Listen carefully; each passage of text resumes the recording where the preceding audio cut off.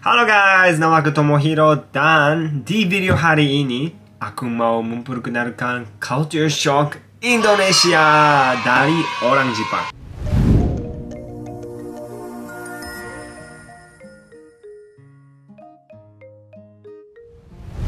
Bagaimana untuk kalian yang udah mulai menonton Nihongo Mantap dari 2019, mungkin kalian tahu kali ini berapa kali yang aku datang ke Indonesia? Jawabannya tiga kali, ketiga kalinya yang aku datang ke Indonesia. Dan juga trip Indonesia ini the longest waktu paling panjang, paling lama yang aku tinggal di Indonesia. Sekitar dua bulan.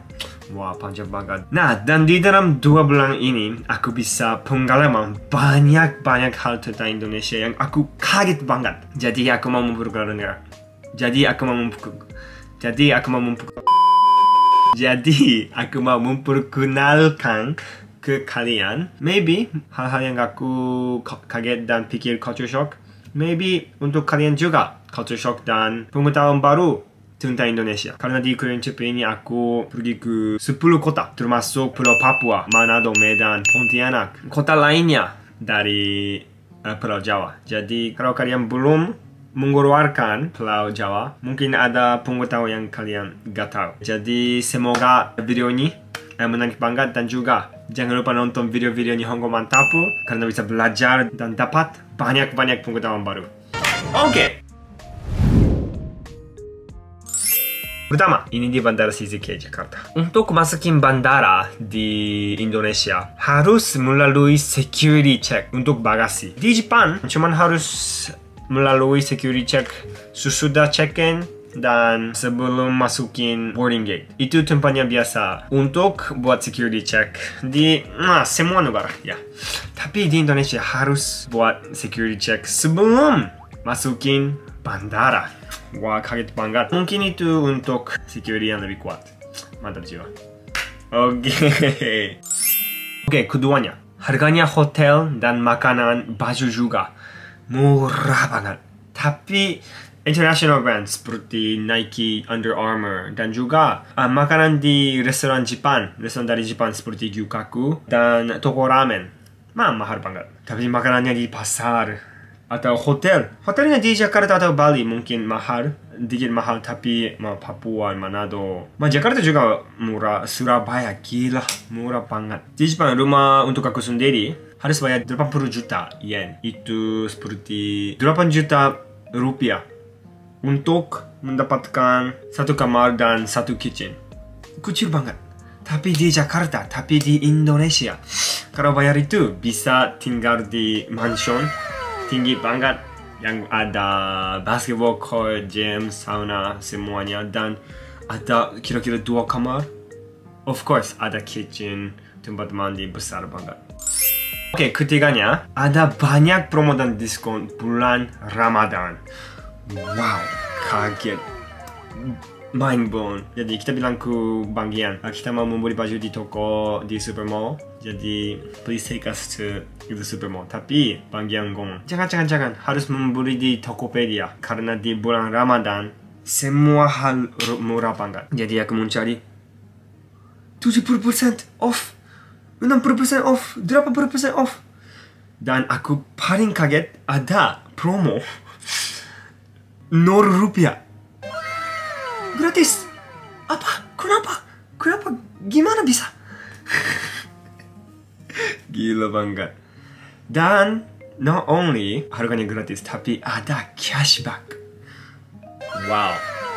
Aku kaget banget karena di Jepang gak ada servisnya seperti itu. Tapi karena harganya gratis, aku dikit khawatir yang barang-barangnya kualitinya jelek banget. Tetapi aku uh, punya kesempatan untuk berbahas tentang orang kantor di Tokopedia dan dia bilang itu ada salah satu marketing strategy karena harganya 0 rupiah gratis Tokopedia bisa dapat banyak-banyak usernya baru meskipun gak ada profit di saat itu tapi in the long term bisa profit wah aku mind blown gila banget keempatnya supermallnya besar banget dan supermall dan supermall dekat banget seperti uh, convenience store di Jepang. Di atas super mall ada hotel atau mansion bisa tinggal. Aku kaget banget waktu melihat itu.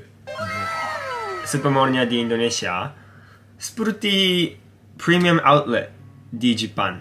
Kalau kalian nggak tahu premium outlet, kita udah bikin konten di Nihongo Mantap. Ma, dua tahun yang lalu jadi uh, tolong cek itu. Premium outlet cuman ada kira-kira 30 di Jepang. Semua tempat di Jepang. Tapi di Jakarta ada mungkin cuman Jakarta ada 30. Lebih banyak dari 30 super mall. Kaget banget dan aku punya kesempatan untuk pergi ke beberapa super mall. Tapi di malam-malam pasti rame-rame. Mungkin karena populasi Indonesia banyak banget. Oke, okay, uh, kelima, fifth one. Uh, waktu di puasa bulan Ramadan, kita pergi ke pasar di ma, jam 5 untuk bersiap-siap uh, buka puasa. Dan di pasar ada banyak toko, tapi barang-barang yang mereka menjual, semua toko sama. Sama banget misalnya es buah, sate, martabak, dan banyak-banyak gorengan, uh, pisang goreng. Jadi, kalau aku pergi ke pasar sendiri, aku gak tahu uh, tokonya yang mana le paling bagus, paling bagus. Aku pasti confused kalau aku pergi ke sendiri, pergi ke sana sendiri. By the way, pasarnya kecuali bulan puasa, bulan Ramadan, sama seperti itu. Kalau berbeda, tolong komen. Kama, kalau sama juga, tolong komen. Aku mau tahu. Mantap jiwa. Oke. Okay. Toko-tokonya yang di pasar atau ma, di jalan menghubungkan dengan rumah, rumah-rumahnya. Jadi di depan ada toko menjual barang-barang, makanan, minuman. Tapi kalau look inside ada rumah yang aku kaget banget karena di Jepang gak ada tokonya seperti itu. Kalau toko pasti di dalam building dan kalau rumah cuma rumah cuma rumah atau apartment. Gak ada connected. Aku kaget banget pertama kali aku lihat itu di Jakarta. Dan aku pikir cuma Jakarta. Tapi di kota lainnya waktu aku pergi ke pasar atau waktu jalan-jalan uh, di mobil. Menonton outside. Semua toko-tokonya seperti itu connected with rumah. Wah kaget banget. Mungkin karena kalau connected lebih mudah dan murah. Ya, ya, ya. Mantap jiwa. Oke okay, oke, okay. karena video ini udah lama, aku mau memperke, aku mau memperkenalkan. Wah, susah banget. Gue mau memperkenalkan. Memperkenalkan, memperkenalkan, memperkenalkan, memperkenalkan, memperkenalkan, memperkenalkan, memperkenalkan. Oke, okay. karena video ini uh, udah lama, aku mau memperkenalkan kau cocoknya terakhir yang adalah harga taksi murah banget. Wah, kaget banget. Di Jepang, harganya waktu mulai naik taksi. Karena di Jepang gak ada Uber atau Gojek. Gojek, Grab seperti itu. Gak ada service seperti itu, cuma ada taksi. Harganya mulanya 420 yen. Kira-kira 47 ribu 171 rupiah. Kaget ya? Kaget ya? Karena misalnya pergi ke supermarket bersama mati mantap ya. Harus pakai mobilnya besar banget karena banyak-banyak orang ya. Dan, dan sudah sekitar 30 menit karena macet banget di Jakarta di malam-malam. Cuman, if I'm not mistaken, cuman 20 ribu rupiah. 20 ribu rupiah. Murah banget. Sama dengan ma, dua onigiri, dua rice bowl di uh, convenience store di Jepang. Wah, gila banget, murah banget. Karena harganya taksi dan transportation murah seperti itu gak ada orang yang berjalan. Hampir gak ada orang yang berjalan. Dan juga pasti macet. Jalannya pasti macet di Jakarta. Nah aku akhirnya bisa mengerti sistem sistemnya di uh, Indonesia. Oke. Okay.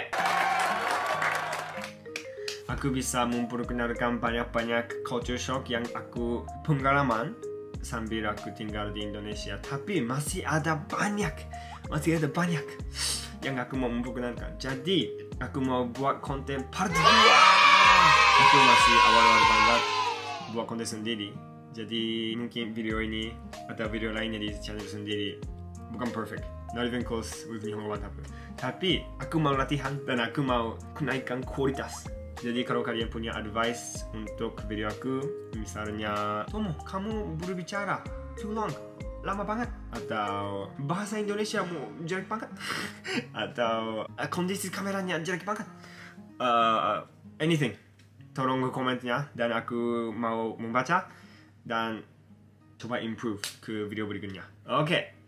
Terima kasih untuk uh, menonton video ini. Jangan lupa like, share, subscribe dan follow Instagramku dan TikTokku.